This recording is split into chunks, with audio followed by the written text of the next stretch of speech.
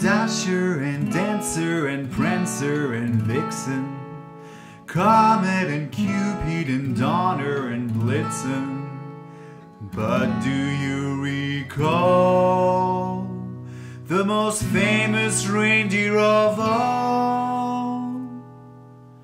Rudolph the red-nosed reindeer had a really shiny nose, and if you ever saw it, you would even say it glows.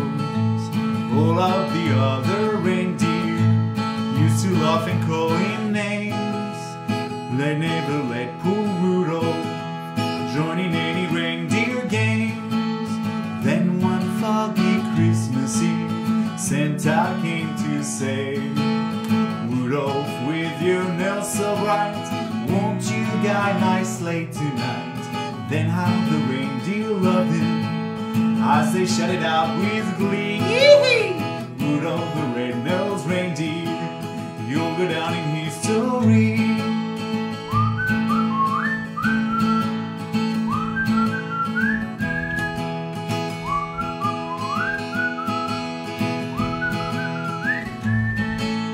Rudolph the red-nosed reindeer had a really shiny nose, and if you ever saw it,